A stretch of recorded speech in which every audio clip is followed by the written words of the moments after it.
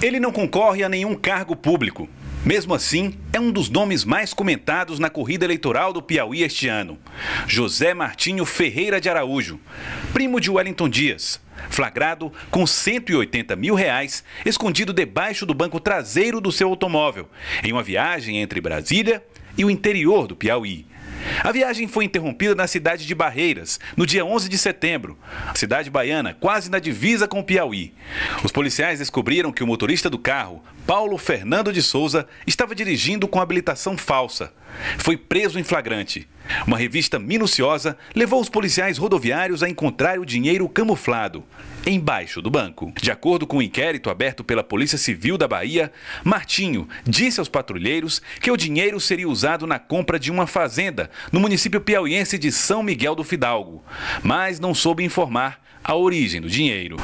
Um silêncio que fez aumentar a desconfiança do Ministério Público. Não entende porque é, aquela pessoa que foi apanhada com esses recursos não declarou a, né, a origem. E a, a, investigação da Polícia Federal, ela tem como finalidade exatamente esclarecer a materialidade e a autoria dos fatos. Então, o que se quer realmente é, de uma maneira cautelar, verificar né, a ocorrência de eventual crime ou não né, nesses, nesse episódio. José Martinho é parente e funcionário de Wellington Dias aqui no Senado Federal.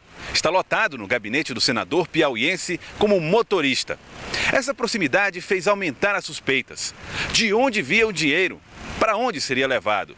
Seria dinheiro utilizado na campanha ao governo do estado do Piauí?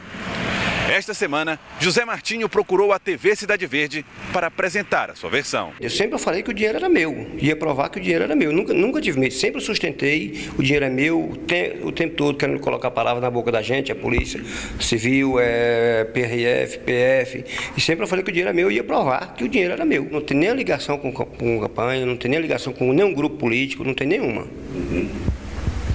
É um dinheiro resultado de que negócios? Do meu suor, do meu trabalho muito esforço. Você ele, conseguiu ele de que maneira? Eu tenho mais de 25 anos de Brasília. Eu tenho mais de 20, não é 10, você falou, eu tenho mais de 25 anos de Brasília. Tenho trabalhado muito, noite e dias, entendeu? E é um dinheiro meu, que eu trabalhei, que ganhei com muito suor. Eu e minha família. Eu vendi uma loja, a parte de baixo da loja. E aí você recebeu o pagamento de que maneira? Eu recebi a parte em espécie e um cheque para 90 dias. Recebi uma parte do, do pagamento em espécie e no, no, dia 10 e um cheque para 90 dias. Da outra parte que quando terminar regularizar a documentação, quando terminar, terminar a tramitação da documentação. E era esse dinheiro que você estava transportando? Sim. Com certeza. A imagem que fica da gente é negativa.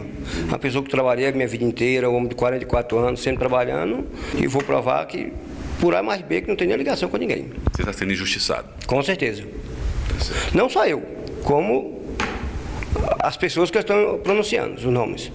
No caso do senador Wellington Dias.